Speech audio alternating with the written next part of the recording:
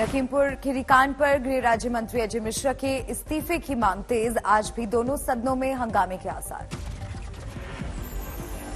Everybody knows whose everybody knows whose son is involve everybody knows who was there when this farmers were killed the gentleman is a minister we want the minister to resign we want a discussion in the parliament Ajay Mishra के इस्तीफे की मांग को सरकार ने किया खारिज। पीयूष गोयल ने कहा मामला अदालत में विचाराधीन। बेटे के खिलाफ साजिश के तहत हत्या के केस के सवाल पर भड़के अजय मिश्र पत्रकारों के साथ बदसलूकी। लखीमपुर कांड को लेकर अखिलेश यादव ने योगी सरकार पर साधा निशाना बोले देखते हैं। लखीमपुर खीरी पर कब चलता है बुलडोजर? घर लौटने पर किसान नेता राकेश टिकैत, मुजफ्फरनगर के सौरम गाँव में भव्य स्वागत के साथ पहुँचे जन्मदिन पर टिकैत ने काटा केक। अपने गाँव पहुँचने पर राकेश टिकैत ने एक बार फिर भरी हुंकार, कहा, जंग के लिए रहना होगा, तैयार नहीं, बिकने देंगे देश की ज़मीन। गाजीपुर बॉर्डर छोड़ते वक्त राकेश टिकैत ने अपनी झोपड़ी पर मत्था टेका, कहा, यादगार के तौर पर ले जाएँगे साथ. किसानों की घर वापसी के बाद गाजीपुर बॉर्डर में हटाए गए बैरिकेड्स, शुरू हुई गाड़ियों की आवाजाही। सिंगू बॉर्डर से घर लौटे आंदोलनकारी किसान गाड़ियों की आवाजाही के लिए खोल दी गई सड़क। मुंबई में बढ़ी ओमिक्रॉन के खतरे की पाबंदियाँ 31 दिसंबर तक धारा 144 लागू, बिना काम और बिना मास्क बाहर निकलने पर कार्रवाई।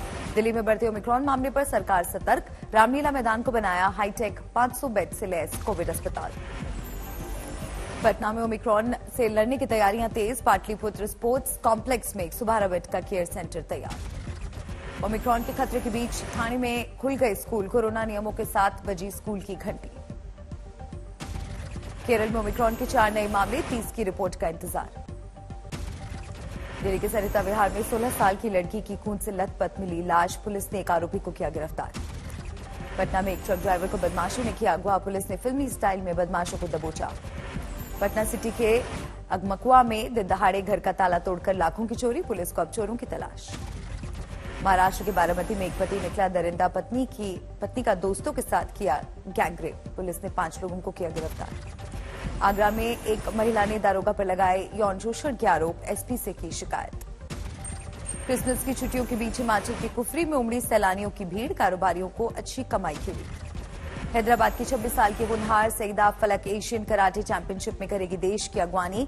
सईदा ने अब तक अपनी झोली में डाले हैं 22 से ज़्यादा इंटरनेशनल खिताब। मिस यूनिवर्स का खिताब जीतकर स्वदेश लौटी हरनाज कौर संधु, मुंबई एयरपोर्ट पर स्वागत।